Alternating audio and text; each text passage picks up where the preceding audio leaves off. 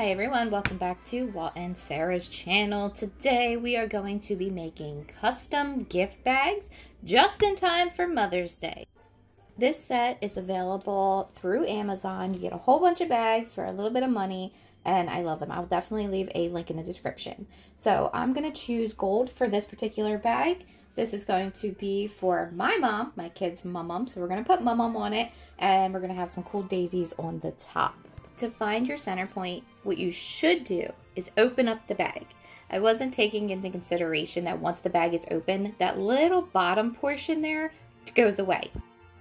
One thing I will note is I am not using any stabilizer.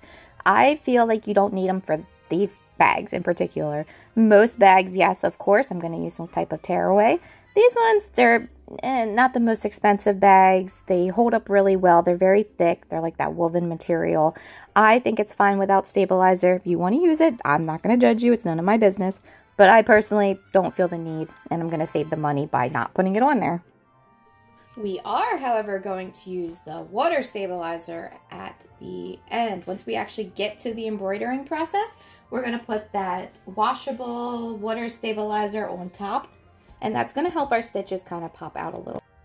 For most of my projects, I prefer to use my Durkee hoops. I love them so much. But for this one, I'm going to use the magnetic fast frame. The only downside to using this frame is the amount of hoop burn we're going to end up with at the end. But I will say, after doing these so many times for like birthday gifts and parties and whatnot, the hoop burn does go away. So it's going to freak you out when you first take your hoop off and you see how bad it indented, but it does go away, I promise. The hoop size is 8 by 9 and my design is only 6 inches wide. So I don't have to make sure it's super, super centered because I can line it up through the machine rather than keep taking the magnetic hoop off and redoing it and redoing it, and redoing it. I just kind of got it as close as I could and then I used the machine to actually center. As always, it is critical that you trace your design. These are not the hoops that come with the machine. They are like an aftermarket, third party type thing. So it is so important that you trace your design, whether it's just a name or you're adding an actual image to it, you need to trace it. Now I am measuring out the amount of water stabilizer that I'm gonna put on top. This is going to go directly on top of the bag and then my stitches are gonna go on top of this. And then once I'm all finished, I will go and wash it off. And it's going to almost give my stitches like that 3D look. It's gonna have a little bit of a puff to it. Not crazy, we're not using 3D puff. This is just water stabilizer. Most of the time when you buy water stabilizer, especially if you get it from a local store, it is clear. I got this online somewhere. I've had it for a while. I really do like this stuff. It's white rather than the clear. It's the same thing. It works the same. It's fine. If you have the clear or if you have the white, it doesn't matter. So this is just some satisfying stitches in hyperlapse timing. Oh, I love watching embroidery go super, super fast. I wish it was this fast in real life. As you can see, I did not cut enough of the top layer there.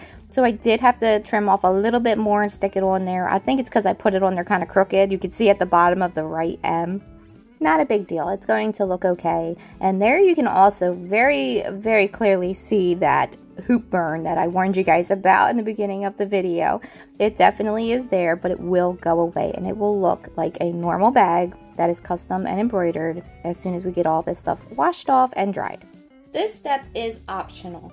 I personally like to add the button because this helps people use the bag more often once the party's over, once they open up their gift.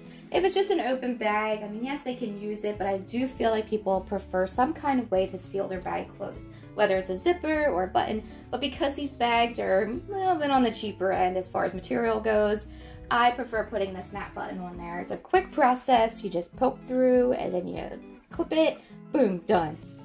And now where you want your button to go is another thing that is your preference. Typically I go a little bit higher. This time I wanted to try it below that line. You can see about an inch of the stitch that was already on the bag. And typically I will go above it, but this time I wanted to try to go a little bit lower just to see how it would look and its function. Personally, it's a little bit easier if you do it higher up so moving forward, I'll probably keep it moving up. And at the end of the video, I'm gonna show you two other bags that I worked on at the same time. And I will show you where I put the button on that one. I promise, I tried so hard to get the process of the button into the frame of the camera and I just failed miserably. I am seven months pregnant at this point and my belly kept smacking the tripod. It was so embarrassing. So I had to edit all the shaking out and I'm trying to do this on an angle. So guys, I really tried to get it so where you could see what I was doing perfectly, but it was an epic fail. But you get an idea. And there are videos out there that show you how to apply these snap buttons. Um, that's how I learned was to watching other people make YouTube videos of how to do it. So they are great. It's an awesome tool to have, especially if you're into sewing, embroidery, whatever. Having the option to add these little buttons is awesome. It does require a little bit of muscle to press down, but once you get it on there, they're on there pretty good. And when you pull them apart, they almost feel like they're going to come apart, but they don't. I honestly have never had one come apart. Let me knock on wood real quick. Knock, knock. I've been very lucky that I been able to attach them pretty good. So hopefully they don't come off because I haven't experienced that yet. But now that we're done with our buttons and our embroidery, it's time to wash off our water stabilizer. And easy process, guys. As soon as the stickiness goes away, you know you're good. So this was a couple hours later after the bags kind of dried. I mean, there's still a little bit damp, but it's okay. I just want to finish up this video so I can show you guys what these look like. This is the one we worked on together. My only regret is not using a darker green, but that's what me. And then this one is what I was showing you guys with the button and how it went up higher. I kind of like it up there towards the top. And this is also showing you that once that bag is open, you lose about an inch at the bottom. So when you're centering, you kind of want to move that up a little bit further my opinion, this pink one turned out the best. It is a rose gold, which is like my favorite. So yes, guys, quick and easy gift bags that you can make. Usually I'll just put somebody's name across the center if it's like for a birthday gift, but now it's for Mother's Day. Each, you know, my mom, my grandma, and my sister are to have a bag for their stuff and I'm so excited. So thank you guys so much for watching. I hope to catch you all in the next one. I post embroidery videos quite often, so don't be afraid to subscribe, like, and I'll see you next time. Bye, everyone.